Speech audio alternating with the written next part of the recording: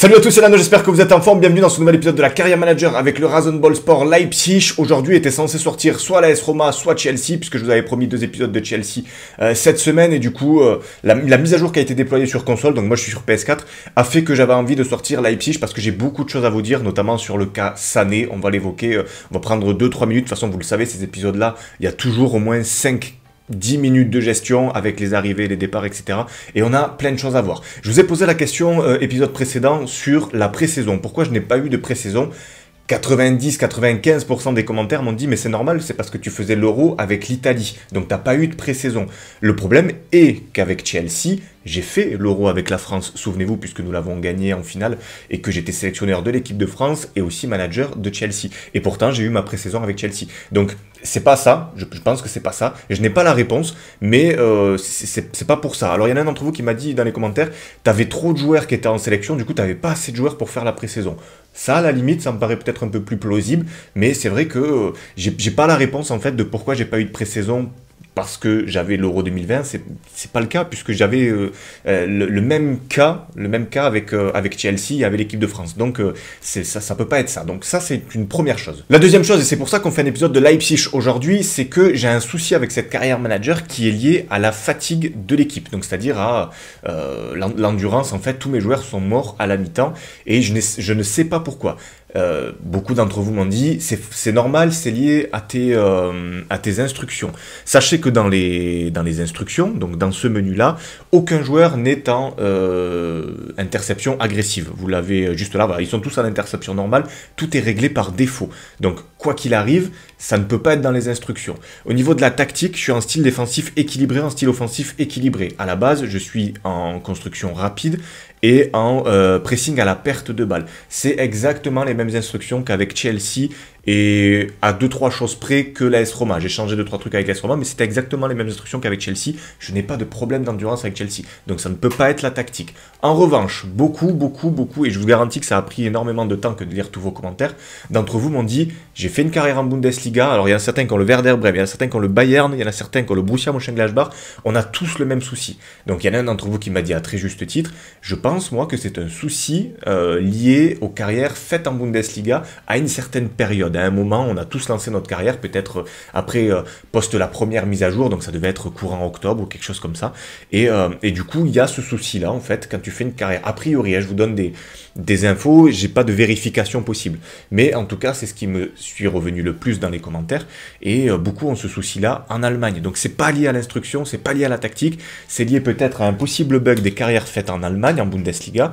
Et on l'a tous créé peut-être au même moment, cette carrière manager. Et ce qui fait qu'on a ce souci de, je remets les lunettes parce que j'y vois que dalle, et euh, on a tous ce souci en fait de euh, d'endurance. Donc la seule solution qu'on m'a donnée, on m'a dit fais-le, moi ça a marché, et donc je vais vous la partager aussi, euh, c'est d'aller là dans composition d'équipe, de faire importer, est-ce qu'on peut le faire je crois pas. Voilà, j'avais trop de tactique, de faire importer une composition et de trouver une équipe qui est en 4-3-3 par exemple, donc euh, non, celle-ci a trop de défenseurs. Il faut trouver une composition qui est en 4-3-3.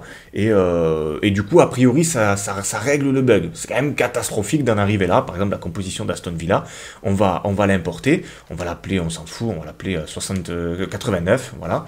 Et a priori, si je pars sur cette base-là, c'est ce qu'on m'a dit dans les commentaires, j'ai pas vérifié, mais on va voir si ça fonctionne.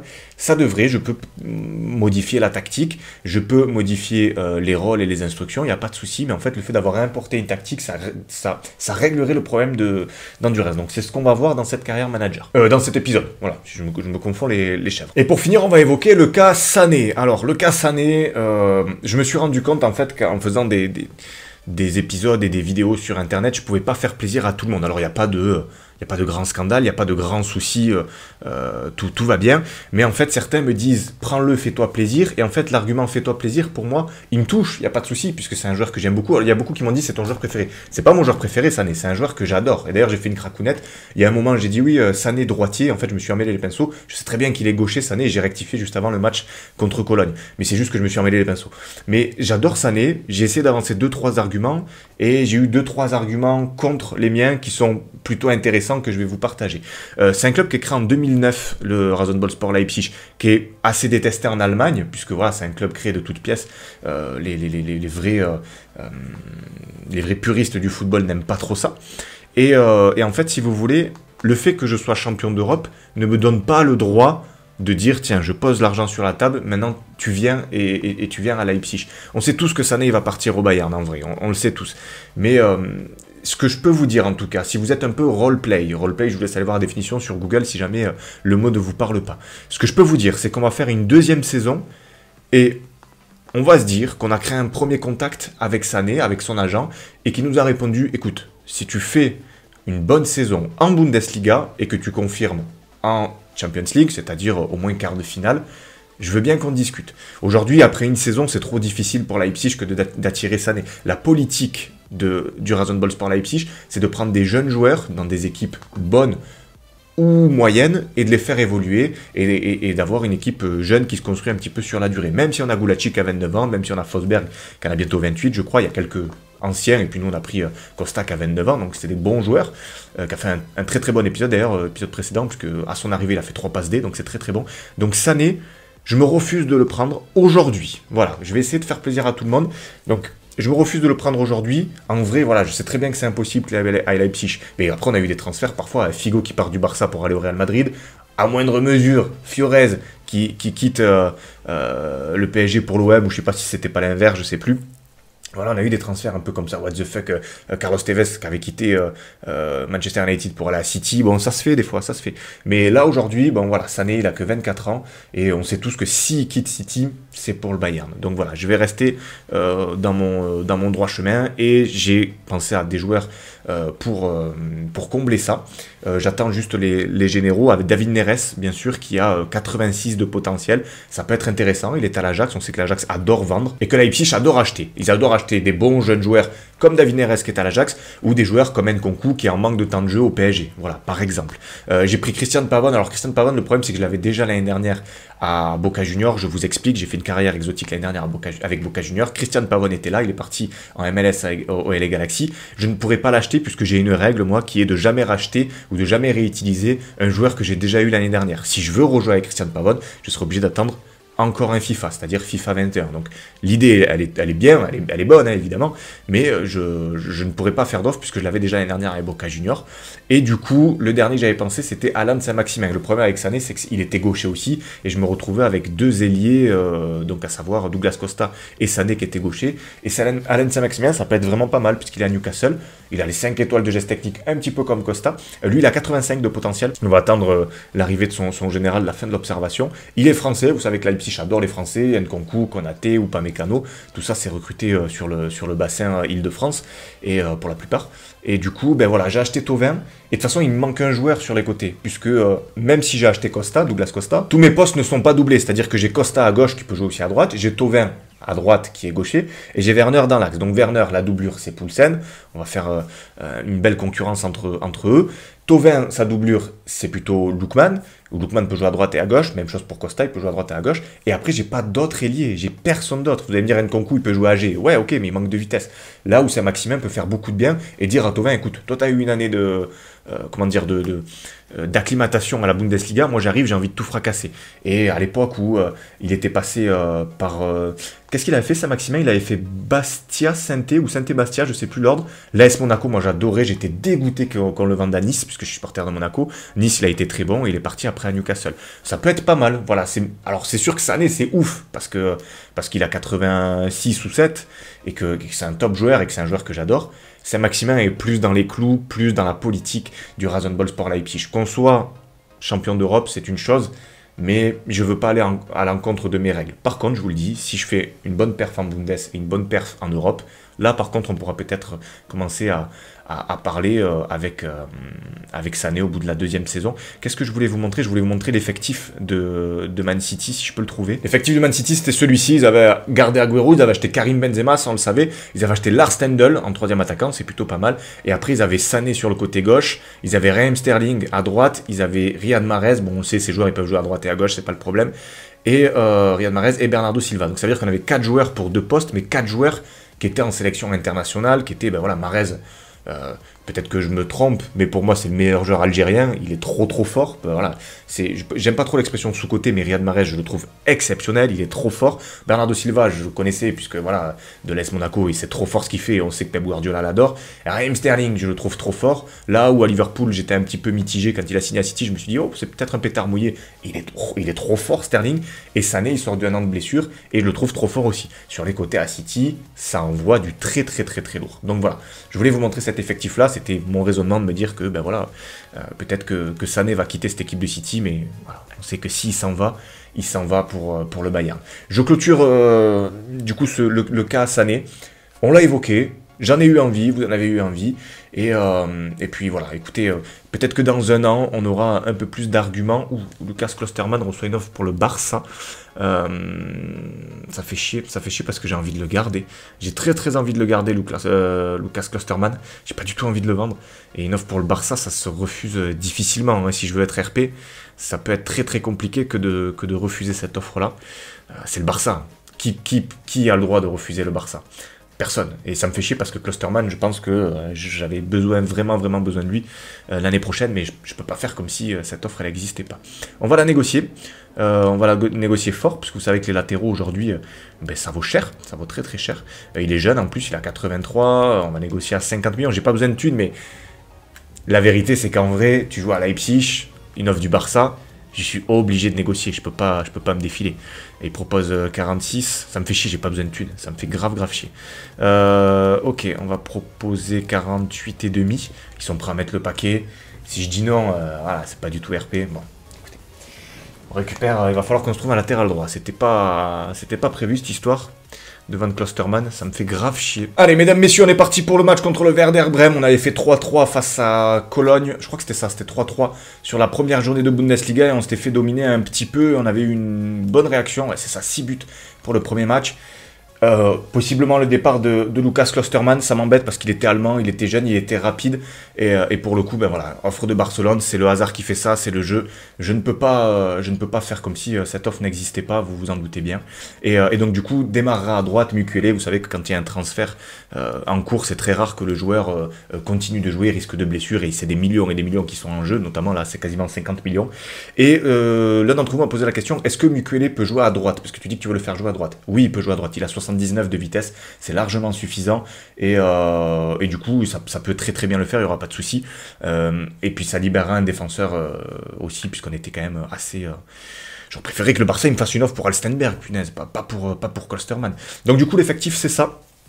Euh, le 11 de départ, c'est ça. Donc, j'ai réglé deux, trois trucs, notamment sur les instructions. Moi, je demande toujours à Egestein, Draxler et Sabitzer de euh, pas couvrir les ailes, mais de couvrir l'axe. Donc, je veux vraiment que mon trio euh, de milieu de terrain reste bien, bien en place au milieu. Et ceux qui font le travail sur les côtés, c'est bien évidemment eh Costa et, Alstenberg, et donc du coup Mukwele et, et Flotovin. Je veux pas que mes joueurs axiales s'occupent des côtés. Ça crée trop de déséquilibre, ça crée trop d'espace après dans dans, euh, dans mon jeu, et du coup ça ne, ça ne me plaît pas.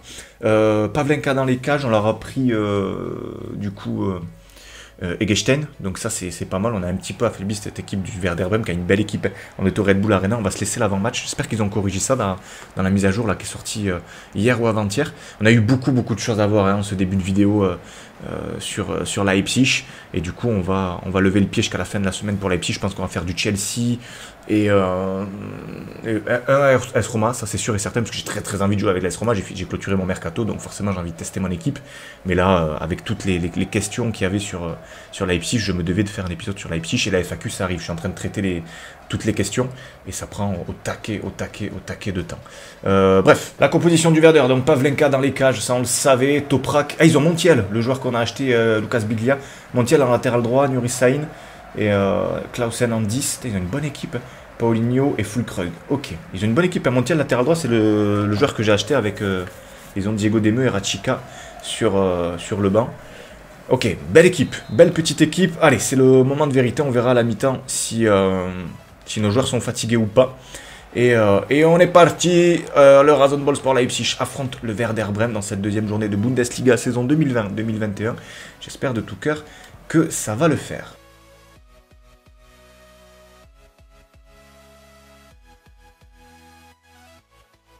Ok, 1-0, 12e minute de jeu, le but de Paulinho sur le gros gros travail de Fulkrug sur le côté droit.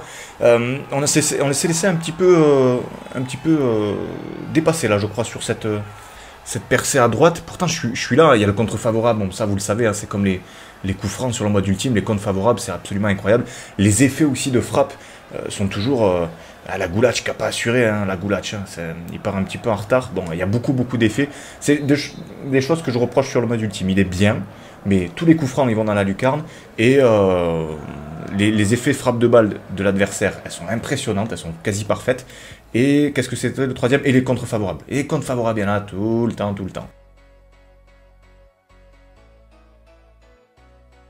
Allez, oh Je croyais qu'elle y était. J'allais dire, allez, tiens, la meilleure réponse. Même pas, le, contre, le contrôle a été euh, extraordinaire de, de Timo Werner. La position qu'il a eu de, se retourner, c'était euh, c'était très très bien exécuté. J'étais à deux doigts de égaliser juste après leur but, c'est dommage. Ok, bien joué, bien défendu. Flotovin qui relance sur sa Bitzer. On a chaud, hein. on a très très très très chaud.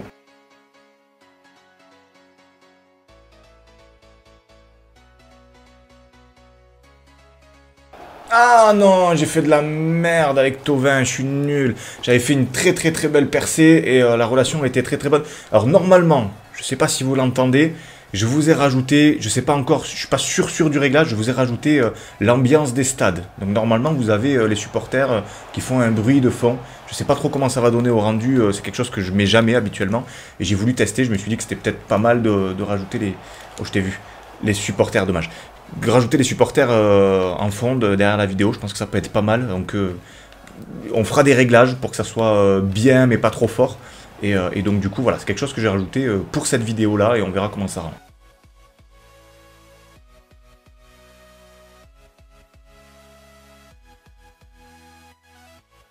Hum, la puissance des Gestein qui a, frappé là un petit peu aux, aux alentours des 20 mètres, c'est pas fini. Ouais, c'est fini. C'est la mi-temps, euh, bien intercepté par Toprak. On perd 1-0 face au Werder Bremen. C'était une équipe qui nous avait fait beaucoup de mal la saison dernière. Et on leur avait enlevé, euh, souvenez-vous, au mois de janvier, Gechten, qui était leur, leur meilleur joueur. Euh, les stats sont assez bonnes. Timo Werner, ça va doucement. Ouais, on fait, on fait du mieux qu'on peut. Hein. C'est assez équilibré. C'est quand même dommage de, de perdre un 0 après, après 45 minutes de jeu. Les joueurs sont un peu moins fatigués forcé de le constater. Ils le sont, mais ils sont un peu moins fatigués. Donc, euh, écoutez, c'est presque encourageant, je vais dire ça comme ça. Yes, oh c'est magnifique. C'est magnifique. Le euh, l'inversement, je sais pas comment dire là, le j'allais dire dédoublement, mais c'est pas vraiment un dédoublement. C'est Timo Werner qui a pris le côté gauche sur un gros gros gros pressing et c'est Douglas Costa qui a été à la finition. Pourtant en termes de finition, il n'est pas exceptionnel. Il nous a fait une barre épisode précédent face à Colonne qui était euh, qui était bon. Là, il y a gros gros pressing et grosse interception pour pour ceux qui se posent la question, on n'est pas en équilibré équilibré. On est en équilibré euh, défensif et on est en euh, non, on est en équilibré. Non, qu'est-ce que je te raconte? On est en construction rapide en offensif et pressing à la perte de balle en, défense. Donc en fait, c'est exactement ce qu'a fait là euh, notre ami Timo Werner, c'est de respecter les consignes. Je suis très content du, recrutement de Douglas Costa. Hein. Il est technique, il est bon. Euh, bon, là, il marque. Il a fait trois passes D euh, épisode précédent. Même si, voilà, vous étiez un peu sceptique et dubitatif sur ses 29 ans. Je rappelle que 29 ans, c'est pas très vieux, c'est mon âge. Donc voilà, c'est quand même c'est quand même un bon recrutement, je crois. Il avait zéro temps de jeu à, la Juve. On fait les trois changements. Entrée de Vauber, axe gauche, puisqu'il est gaucher à la place d'Upamecano, qui est très fatigué. Globalement, ça va, c'est pas exceptionnel. C'est mieux c'est mieux euh, l'endurance, la fatigue des joueurs, mais ils ont quand même euh, beaucoup de fatigue. Entrée de Wagnoman à droite à la place de Mukwele et entrée de Fosberg à la place de Draxler, qui est vraiment sur les rotules. Mais sinon, c'est plus agréable. Ça, là, c'est la 72e minute de jeu. Ça, c'est ce que j'avais à la 35. Donc, il y a quand même un peu de mieux. En tout cas, moi, avec ce que j'ai fait, le fait d'importer une, tactique d'un autre club, je ne sais pas si c'est ça. En tout cas, je vous ai montré comment j'ai fait. Mais euh, si c'est ça, tant mieux. Ça ça allège un petit peu la fatigue des joueurs et c'est quand même dommage d'en arriver là pour régler euh, euh, autant, de, bugs.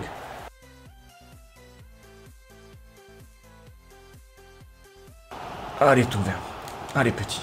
Bien ça. C'est pas mal ce que tu fais Tove. C'est pas mal. Oh non Je sais pas pourquoi il s'est arrêté ce zgeg là. C'est... Euh... C'était Egestein. La remise, elle aurait été parfaite de, Timo Werner pour Egestein. On aurait, pu, on aurait pu frapper. Il a beaucoup de puissance, Egestein. Je sais pas quelle est sa note de force. Mais je trouve qu'il a beaucoup, beaucoup de puissance. Fais l'appel, petit. Fais l'appel. Fais l'appel. Fais l'appel. Ah non, c'était Sabitzer, je crois. Ah non, Pavlenka, je te déteste. Je te déteste.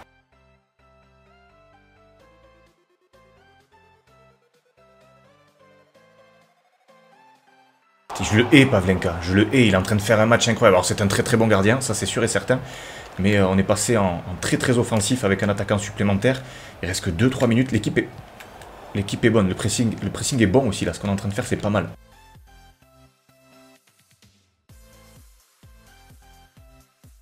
Non, Pavlenka, je te hais.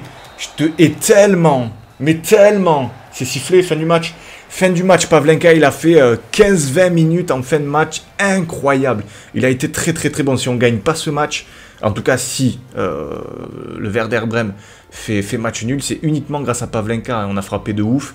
Euh, on était bon, on n'avait pas la possession, mais ça c'est notre style de jeu. Je serais curieux de connaître la note de Pavlenka. Il a été très très bon, il prend que 7,7, il fait 6 arrêts, hein. c'est exceptionnel. Il fait 6 arrêts. Il a été très très très très très fort et Timo Werner a été élu homme du match, sûrement dû à, voilà, il a cadré un peu, il a fait quelques passes, bon voilà. On fait match nul, et je suis un peu euh, déçu parce que le gardien d'en face a été très très très bon. Le Borussia Mönchengladbach s'impose 5 à 0 à Hambourg, euh, club promu de Bundesliga 2 en Bundesliga 1. Et euh, Stuttgart aussi, qui a été promu, vient de prendre 3-0, mais j'ai pas vu contre qui. on donne juste la petite interview. À la mi-temps, vous pensiez que le nul était possible. je m'attends... Ouais... Eh, je misais sur une victoire, moi. Je misais sur une victoire. C'est décevant d'avoir baissé le rythme après l'égalisation. On prend un point, mais l'objectif restait la victoire. C'est tant pis si ça baisse le moral des joueurs, c'est en tout cas ce que je pense. Euh, la plupart des supporters s'attendent à une victoire car vous êtes perçu comme une meilleure équipe, mais vous devez vous contenter d'un nul. Quelle est votre analyse? Ah, je viens de te le dire, hein, je suis déçu. Qu'est-ce que tu veux de plus? Tu veux que je me mette à chialer? Euh, Il faut retenir la leçon et progresser. Euh, oui, les choses ne se sont pas bien passées comme prévu, mais le mérite revient à l'adversaire qui a bien joué, notamment Pavlenka qui a été incroyable. Pour moi, c'est l'homme du match. Euh, à nous de retenir la leçon. Paulinho a été un des meilleurs joueurs adverses. C'est faux. Pour moi, ça a été Pavlenka. Je pense que c'est des questions d'un journaliste de l'équipe. on va se concentrer sur ce qu'on sait faire. Voilà. Le moral de l'équipe est très heureux. Je comprends pas pourquoi tu me dis que Paulinho a été bon. Pavlenka, il a été incroyable. Il a été stratosphérique face à nous. Et j'ose même pas imaginer cette équipe-là si on n'avait pas acheté euh, euh, Monsieur, Monsieur euh, L'entraînement est fait. Donc, c'est plutôt une, bonne chose. Deux, choix s'offrent à moi.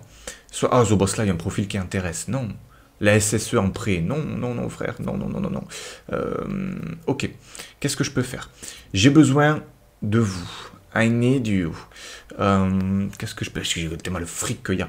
On va avancer juste un tout petit peu. C'est vrai que Zoboslai, ça m'ennuie de le laisser partir. Le problème, c'est que je joue avec un 6 et pas un 10. Et Zoboslai, je ne saurais pas trop euh, quoi en faire. Aujourd'hui, ma politique, elle est simple. Il y a beaucoup de choses, il y a beaucoup d'informations avec, euh, avec cet épisode de, de la carrière. ne pouvant pas acheter Sané, donc ne pouvant pas acheter un gros, gros, gros joueur, parce que voilà, ce sera à l'encontre de ce que je vous propose depuis des années sur Internet, en tout cas aujourd'hui, à l'instant T. Je vous propose Saint-Maximin qui est droitier, je pense que c'est vers lui que je vais faire une offre. Wilfried Zara aurait été bien aussi, mais mon cœur penche plus vers Alain Saint-Maximin, qui est un joueur que j'ai jamais utilisé et qui, je pense, sur le papier peut être bon, avec ses 86 de potentiel. L'argent, je vais l'utiliser pour faire du nombre pour faire du stock, pour faire des joueurs euh, à potentiel euh, grand, comme le fait le Rasenball Sport Leipzig en vrai. Et euh, c'est vrai que Soboslai, Dominique Soboslai, je ne peux pas le laisser partir étant donné qu'il joue à Salzbourg. J'ai déjà pris Vauber, je ne le laisserai pas partir. Donc c'est simple et efficace. Est-ce qu'il peut jouer Il peut jouer milieu droit, milieu gauche, c'est 10. Il me le faut. Quoi qu'il arrive, j'ai besoin de joueurs dans cet effectif-là. Donc on va pas prendre de risques. On va payer directement la clause libératoire pour éviter qu'il parte à Saint-Etienne. Je vais négocier avec lui. Et euh, voilà, il y a un lien entre Salzbourg, je le vous l'ai déjà dit, épisode précédent avec et, euh, et le Rasenball Sport Leipzig. Donc évidemment, euh, on va on va, le prendre. Et en plus, il demande rotation, il a que 19 ans. C'est un très bon joueur, je crois qu'il a comme potentiel 86 ou 7 sur Bosley. Je, je vous le fais de tête parce que je sais plus. Mais on va le faire venir. J'ai besoin de joueurs, j'ai besoin de. Il ressemble un peu à Wolf. Mais bon, Wolf peut jouer à gauche, Bosley peut jouer à droite. J'ai besoin de jeunes joueurs de toute façon et des, pépites à, à, à Leipzig. Il y en a il n'y en, a pas qu'une, hein, il y en a plusieurs. Allez, c'est fait pour Dominique Soboslai. C'est un joueur, euh, donc hongrois, qui rejoint euh, son compatriote Willy Urban dans cet effectif du Rasenball Sport Leipzig. C'est un peu le même profil que, euh, que Wolf. Sauf que, bon voilà, lui est peut-être un petit peu plus complémentaire sur, euh, sur les côtés. Et du coup, pour l'instant, si on fait le point, pour moi, hein, on a une grosse recrue, une vraie recrue qui rentre dans le 11 de départ, c'est Douglas Costa. Et on a Maximilian Vauber et Dominique Zoboslai qui viennent en provenance de Salzbourg, qui eux sont des joueurs plus d'équipe 2, de sortie de banque, que je vais peaufiner, que je vais, euh, comme le fait en vrai euh, le Ball Sport Leipzig. On va certainement avoir le départ de Clusterman, ça, ça me fait ultra chier. J'ai pensé à Emerson en latéral droit, ou un joueur que vous avez soumis, vous, qui est Kaderabek, qui est à, Offenheim, euh, ce qui est euh, un petit peu euh, un petit peu dommage parce qu'il vient d'arriver à Offenheim. Donc ma seule solution ce serait Emerson et de débuter avec Mukwele et de faire sortir Emerson en, sortie de banc. il est très rapide, il est brésilien. J'ai perdu un j'ai perdu un Allemand dans l'histoire, et si jamais il y a de nouveau une offre de Willy Orban, peut-être que je l'accepterai, et je ferai venir Niklas Stark. Voilà, comme ça on refait venir un Allemand, il n'y a pas de quota allemand à avoir ou quoi que ce soit. Mais euh, voilà. Il y a un d'entre vous qui m'a parlé aussi de Real Mangala, ça peut, ça peut être une solution. Après, je suis fourni en milieu, je viens d'acheter Zoboslai, même si c'est pas le même profil, et plus défensif au, Real Mangala, qui était prêté à, à l'Union de Berlin dans cette carrière manager la saison dernière. Euh, il peut venir aussi, après, j'ai besoin de nombre. Donc 75 de général, ça peut faire l'équipe 2, et on va avoir besoin d'un turnover exceptionnel si on veut, euh, si on veut bien sûr reposer les joueurs, parce qu'on a ce souci de vous l'avez vu, d'endurance. on regarde vite fait, euh, avant d'avancer de 2-3 jours, la vitesse de Soboslai, vous l'avez tout en bas à droite, 85 de vitesse. Franchement, c'est pas mal, c'est pas mal du tout. Il peut jouer, je pense, AG, AD, donc euh, ça peut être pas mal. Il peut jouer 10 aussi. Il y a des fois, je vais peut-être pas toujours jouer avec Egestein en 6, je peux le faire jouer 8 Egestein aussi. Et je vous dis, je vais faire un vrai box-to-box avec lui. Je sais qu'il y a beaucoup, beaucoup d'informations dans cette vidéo, mais avant de la clôturer, je pense que je vais faire qu'un seul match. Voilà, je voulais la confirmation de, de la vente de Clusterman, et, euh, et je vais pas perdre de temps. Ouais, je, suis dégoûté, mais je, pouvais pas, j'avais pas d'argument pour refuser l'offre du FC Barcelone. En revanche, par contre, je pense que je vais pas perdre de temps, je vais faire l'offre pour Emerson, qui est au, au. Donc Emerson, il s'inscrit totalement dans l'ADN euh, de, cette équipe de, Leipzig, puisqu'il a 85 de potentiel, il a que 21 ans, il est au Betis, il est très rapide, donc ça c'est ce que moi je cherche, 85 d'accélération, 89 de vitesse. Franchement, euh, quoi, quoi dire de plus Étant donné qu'on a l'argent, on va s'éviter les négociations. Euh, on va faire péter la clause à 11,5. Donc euh, il y a aussi ce côté un petit peu pratique. C'est, dites-vous bien que Leipzig, c'est, un, club opportuniste. C'est-à-dire que c'est un club qui a été créé de toutes pièces en 2009, où l'argent a fait bien évidemment ben, ce qu'ils sont là maintenant, hein, qu'on voit concurrents du Bayern, de, de Leverkusen et de, Dortmund en, en Bundesliga. Ils sont bons gros outsiders en en Champions League. Donc tout ça, c'est un, truc de... Quand ils prennent euh, Nkunku au PSG, je pense que le PSG veut garder Nkunku, je pense. Mais Leipzig, ils arrivent, ils disent écoute, nous tu vas jouer, tu vas être titulaire, tu vas faire des passes D à gogo, ils peuvent pas le savoir, mais tu vas faire des passes D à gogo, euh, viens chez nous, t'inquiète, euh, regarde, on a Upamecano, on a Mukuele, on est bien, viens. Et donc du coup, bah, qu'est-ce qu'il fait un concours Il se dit bah attends, moi je suis sûr de mon football, évidemment que je viens. Et, il a tout à fait raison, et regardez, ça lui a plutôt très très bien réussi, parce que c'est un joueur presque, on peut dire, pièce maîtresse du Rasenball Sport Leipzig, avec Nagelsmann, qui est le coach ultra ultra à la mode en ce moment du côté de, de l'Allemagne et même en Europe. Allez, c'est signé. Emerson est un joueur du Ball Sport Leipzig. Le jeune Brésilien de 21 ans vient de signer. Euh, juste après Soboslai, on prend Emerson. Donc euh, c'est pas mal. C'est pas mal du tout. Numéro 16 pour Emerson, numéro 24 pour Dominique Soboslai. Donc c'est des joueurs qui seront en deuxième rideau, c'est-à-dire titulaire en équipe 2. Pour l'instant, je vais, laisser euh, Nordi Mukwele, l'ancien euh, Montpellierin, à droite, parce qu'il est pas mal. Emerson jouera en équipe 2, et, et Dominique Soboslai pourra jouer euh, également euh, dans, dans l'équipe dans l'équipe 2. J'avance jusqu'au prochain match qui est Düsseldorf, ça va être la clôture euh, du. On fera qu'un seul match. J'en suis désolé, mais j'attends les rapports de, de Maximin, j'attends vos retours aussi. passer de Sané à Saint-Maximin, c'est sûr que ça va en décevoir quelques-uns, mais faites-moi confiance, on va faire au mieux. Et le but de cette, cette mercato-là et de cette équipe-là, c'est d'avoir une forte équipe 1 et des jeunes en équipe 2 qui poussent, et je pense que ça peut être intéressant. Moi aussi, je voulais Sané, voilà, je vous le dis, je voulais Sané de ouf, mais euh, est-ce que vraiment on aurait respecté nos règles qui est de euh, être réaliste, être roleplay, euh, faire quelque chose de différent des autres sans prétention aucune et surtout bah, de faire au mieux et de ne pas acheter des joueurs euh, qu'on a déjà utilisés euh, également. On fait un petit point juste avant de se dire au revoir et de se dire euh, bah, à la prochaine pour Leipzig. Pourquoi j'ai fait cet épisode là Parce que j'avais plein de choses à traiter, notamment les problèmes la mise à jour, les problèmes d'endurance, bah, Sané bien évidemment. Et, donc du coup voilà, cet épisode il n'y a eu qu'un seul match. J'ai besoin, c'est pour ça que je clôture pas avant de se faire ce match là, j'ai besoin de votre avis sur Alan Saint-Maximin, qu'est-ce que vous en pensez? Déjà c'est un droitier, il va pouvoir mettre de la concurrence à Tov et, et suppléer Costa avec Lukman. Donc je pense que c'est pas mal. Notre effectif, c'est celui-ci aujourd'hui. On a eu le sale coup du Barça pour l'offre de Klosterman. Ça, ça me fait vraiment chier, mais voilà. Euh, on a fait euh, venir Vauber de Salzbourg, l'épisode précédent. Dans cet épisode-là, j'ai fait venir euh, Zoboslai parce que je voulais pas qu'il parte en prêt à Saint-Etienne. Parce que, parce que voilà, il est assez rapide. Alors là, je comprends pas. Tu vois, il me dit 82 de vitesse. Est-ce qu'il fait pas la moyenne de la vitesse et de l'accélération? Parce que là, il me dit 82 de vitesse. Et quand je fais un coup de joystick à droite, il me dit 85. Je pense que c'est ça. Ça, c'est une moyenne. En vitesse, il prend la moyenne de l'accélération et de la vitesse qui est à 82, mais sinon, il y a 85 de vitesse.